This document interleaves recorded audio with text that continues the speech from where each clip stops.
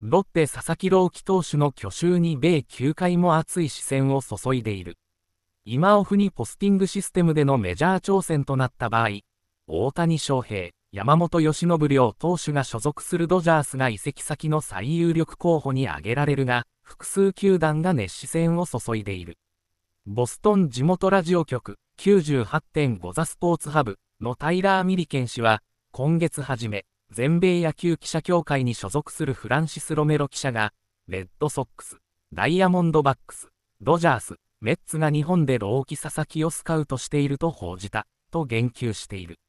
ミリケン氏はさらに、レッツやナショナルズで GM を務めたジム・ボーデン氏も同様のレポートをしたが、そのリストにはヤンキースが加わっていたと明かした。ドジャース、メッツ、ヤンキース、レッドソックス、ダイヤモンドバックスは今月彼の投球を見るために球団のトップ幹部を派遣するなど、スカウトするために多大なリソースを投入した、とも報じている。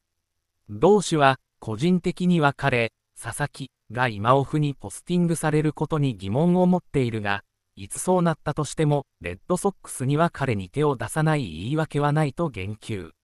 市場に出れば、多くの球団が動くことになりそうだ。